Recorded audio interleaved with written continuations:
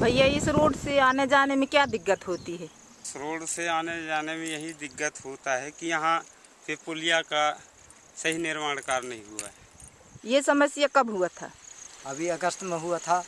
ये कैसा कैसा पुलिया उखड़ गया हम नहीं जानते।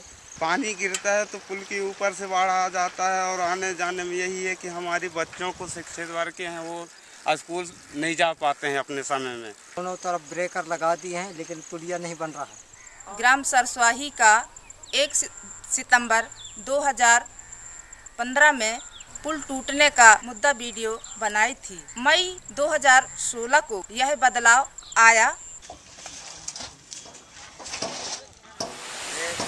बनने के बाद जो बालक छात्र छात्रा पढ़ते हैं उनका रास्ता चालू हो गया है। आवागमन का साधन बन गया है। इसकी जानकारी हम ग्राम पंचायत में दिए थे ग्राम सभा के माध्यम पे पर इनकी कोई सुनाई तो नहीं हो रहा तो हम सूरजिया बाई प्रस्तु को वीडियो शूटिंग वाले को बुलवाया और वीडियो बनवाया, वीडियो बना करके और सरपंच को दिखवाया।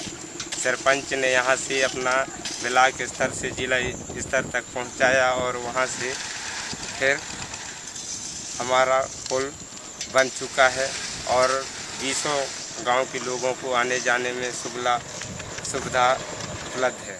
मैं उनको धन्यवाद देना चाहता हूँ कि हमारे यहाँ का समस्या हल करवाया।